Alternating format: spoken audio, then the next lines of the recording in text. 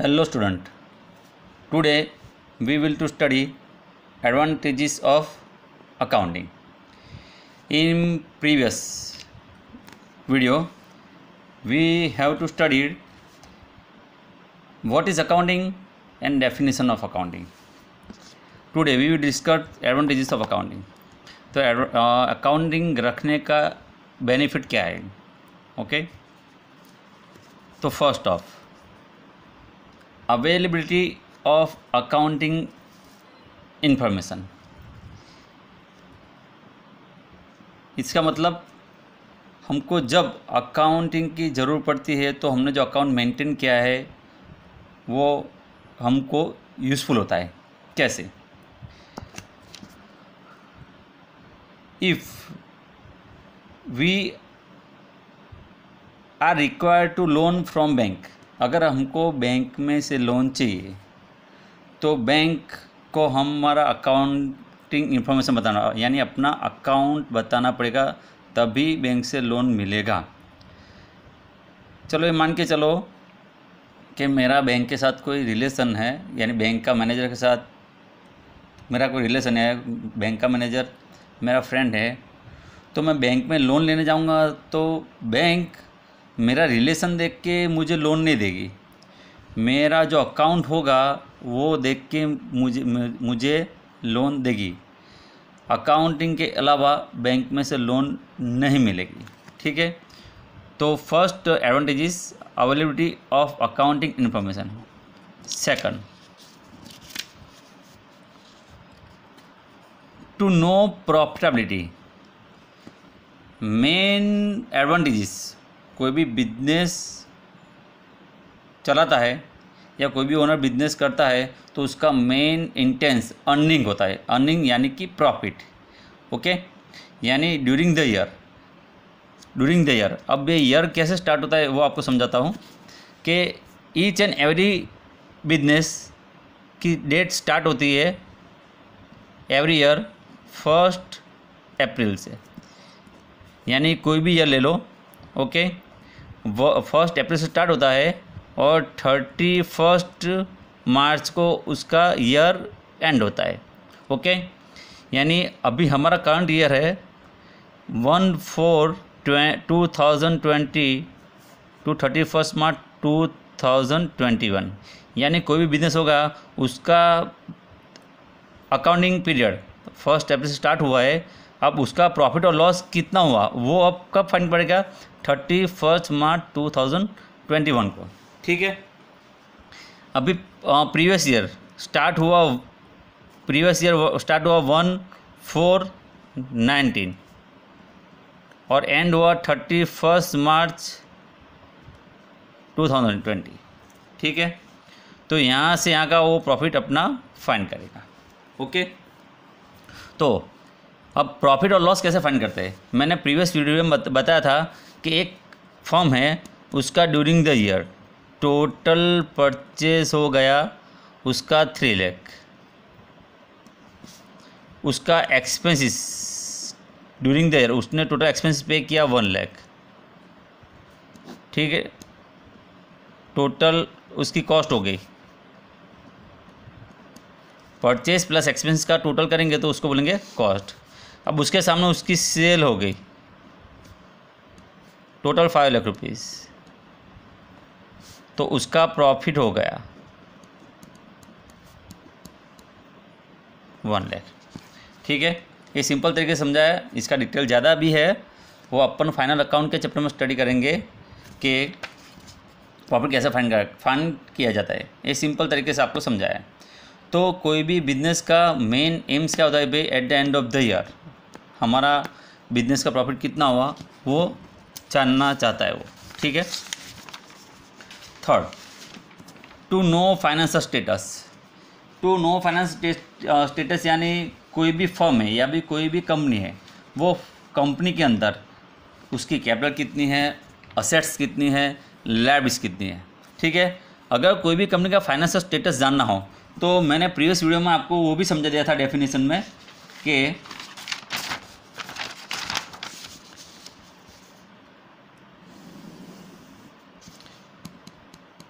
firm A form B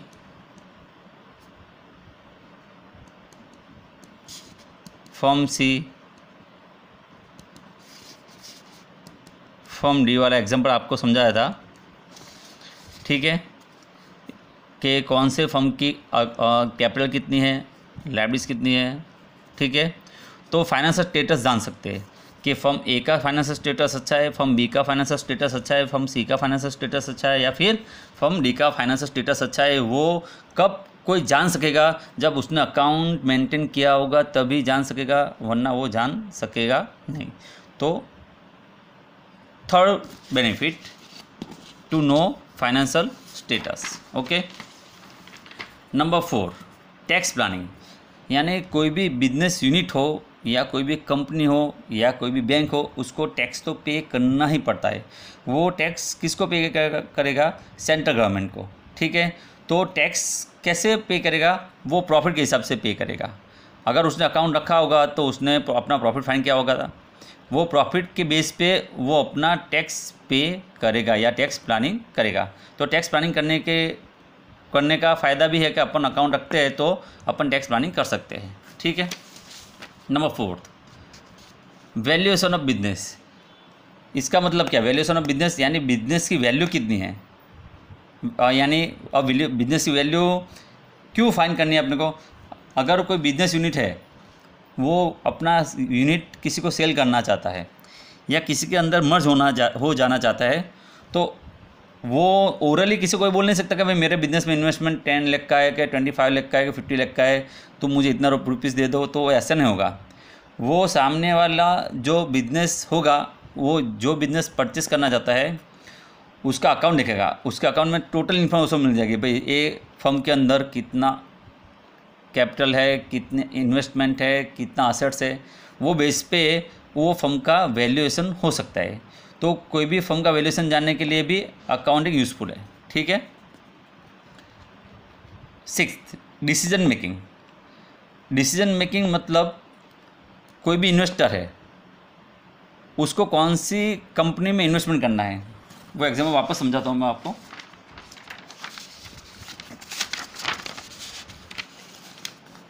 ये firm A firm B firm C firm D वाला, ठीक है? अगर कोई इन्वेस्टर है यानी कोई शेयर होल्डर है, उसको कोई कंपनी का शेयर परचेस करना है तो वो पहले फाइनेंशियल स्टेटस देखेगा कि कौन सी कंपनी का फाइनेंशियल स्टेटस अच्छा है। फर्म ए फर्म डी का अच्छा है फर्म सी का अच्छा है फर्म बी का अच्छा है फर्म ए का अच्छा है। तो हमने प्रीवियस वीडियो में जो लेक्चर डिसाइड डिस्कस किया था, उसके अंदर फॉर्म डी के अंदर कैपिटल सेवन लिखा था और लाइब्रेरीज वन लाख थी, यानी टोटल उसका इन्वेस्टमेंट एट लाख था। तो फाइनेंशियल स्टेटस ए कंपनी का अच्छा था फर्म डी का अच्छा था। यानी अपने को देखना है कि डिसीज़न मेकिंग किसके एंगल से है कि शेयर होल्डर के एंगल से, जिसको इन्वेस्टमेंट करना है, उसके एंगल से डिसीज़न मेकिंग है। यानी ये डिसीज़न कौन लेगा? तो जो शेयर होल्डर है कि इन्वेस्टर है, वो लेंगे। उनके लिए भी अकाउंटिंग यूज़फुल है। ठीक है? अब next seven point as an evidence अगर अपन ने अकाउंटिंग रखा होगा तो उसका एक अपने पास प्रूफ रहेगा। ठीक है? यानी एविडेंस कहाँ काम लगता है? समझो।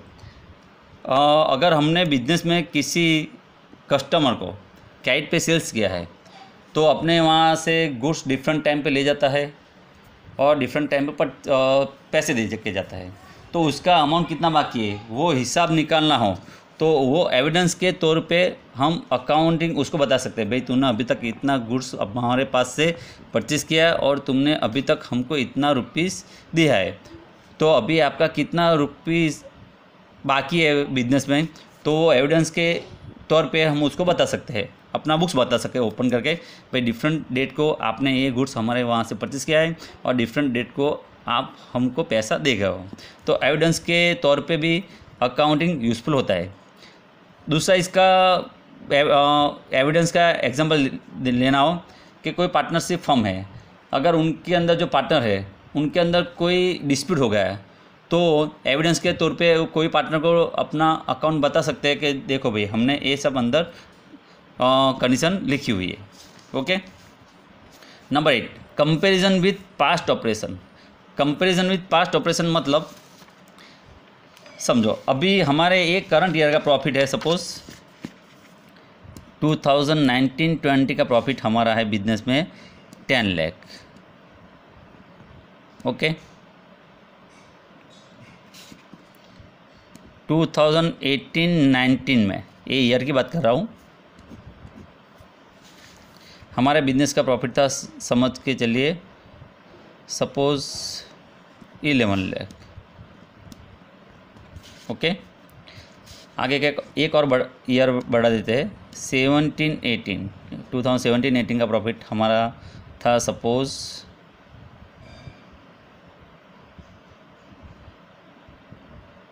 एट लैख तो करंट ईयर के बेस पे हम पास्ट के परफॉर्मेंस के साथ हमारा बिहेवियर कंपैरिजन कर सकते हैं। कि भाई सेवनटीन एटी में प्रॉफिट एट लाख था एटीन नाइनटीन में प्रॉफिट इलेवन लाख हो गया। अब नाइनटीन ट्वेंटी में टेन लाख है। तो कंपेयर कर सकते हैं कि करंट ईयर में हमारा प्रॉफिट थोड़ा डिक्रीज़ हुआ है। ये कंपेरिजन हम कर सकते हैं। ठीक है? तो ये हो गया advantages of accounting okay now we will discuss on next point terminology of accounting अब टर्मिनोलॉजी का मतलब क्या है? टर्मिनोलॉजी मतलब टर्म ओके? टर्म यानी वर्ड्स। यानी कोई भी फ़ील्ड हो तो टर्म यानी शब्द, उसकी ओन लैंग्वेज यानी कोई भी एक्टिविटी हो तो वो एक्टिविटी का कोई भी फ़ील्ड हो तो उसकी ओन लैंग्वेज होती है। जैसे डॉक्टर का फ़ील्ड ले लो। तो उसकी उसकी भी टर्मिनोलॉजी होती है उसकी खुद की परिभाषा। टर्मिनोलॉजी का मतलब है परिभाषा। ओके तो अपन अभी डिस्कस करते हैं, ये समझाने से पहले टर्मिनोलॉजी ऑफ़ डॉक्टर तो डॉक्टर अपनी टर्मिनोलॉजी में क्या यूज़ करेगा? तो उसकी परिभाषा क्या होगी? एक तो होगा हॉस्पिटल वर्ड्स यूज़ करेगा वो। यानी जो डॉक्टर होगा वो कौन सा वर्ड्स इस्तेमाल करेगा डे टू डे एक्टिविटी में? उसको बोलेंगे हम टर्मिनोलॉजी हॉस्पिटल हो गया, नर्स हो गया, मेडिसिन हो गई, सिकनेस हो गया, ठीक है हाँ ठीक है, फिर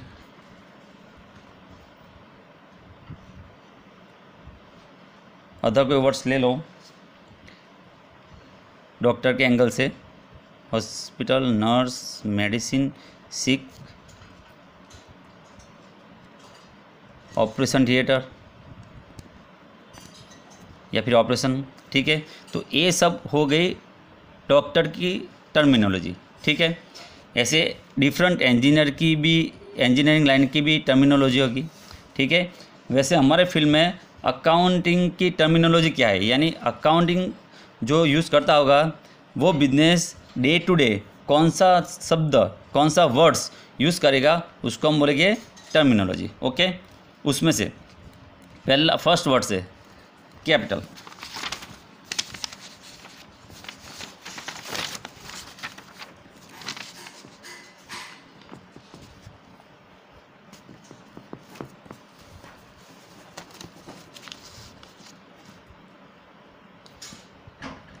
first capital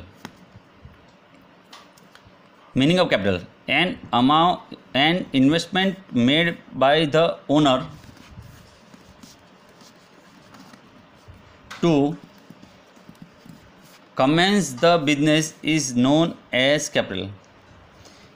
यानी जो बिज़नेस का ओनर है, उसने बिज़नेस स्टार्ट किया है, या बिज़नेस उसका चल रहा है ओके उसके अंदर उसने जो इन्वेस्टमेंट की अमाउंट को, उसको हम बोलेंगे capital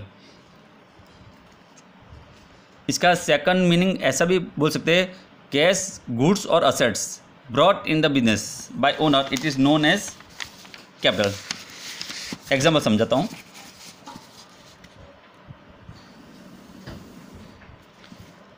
If I have started business with cash of rupees 25000 goods of rupees 35000 and any assets like furniture of rupees 10000 total investment made by me is rupees seventy thousand. यानी मेरा business मैंने start किया है और उसके अंदर मैं मेरे घर से लाया हूँ कैश ट्वेंटी फाइव थाउज़ेंड, मेरे घर से गुड्स लाया हूँ थर्टी फाइव थाउज़ेंड और फर्नीचर मैं बिज़नेस में लाया हूँ टेन थाउज़ेंड। तो मेरा टोटल इन्वेस्टमेंट होगा सेवेंटी थाउज़ेंड इसको बोलेंगे हम कैपिटल। अकेला कैश लाऊँगा तो अगर अगर मैं बिज़नेस में अकेला कैश लाऊँगा तो मेरी कैपिटल गिनाएगी twenty five thousand.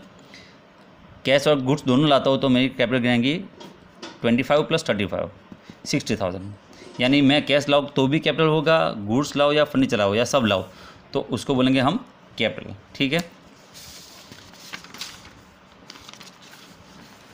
Next second terminology drawings when owner of business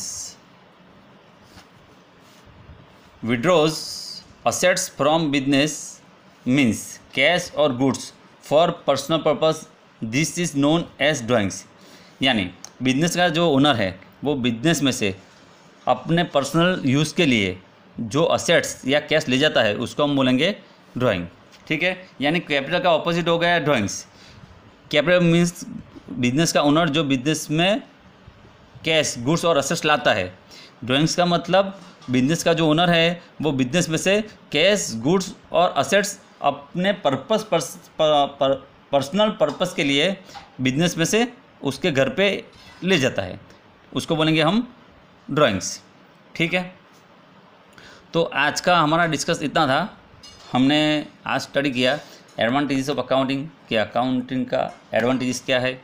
okay terminology में हमने बहुत सारे टर्म टर्म है बहुत सारे वर्ड्स है अकाउंट की परिभाषा से। तो फ़र्स्ट अपने हमने स्टडी किया कैपिटल और दूसरा स्टडी किया ड्राइंग्स उसके बाद का जो होगा, हम नेक्स्ट वीडियो में डिस्कस करेंगे दूसरी सब टर्मिनोलॉजी थैंक यू स्टूडेंट्स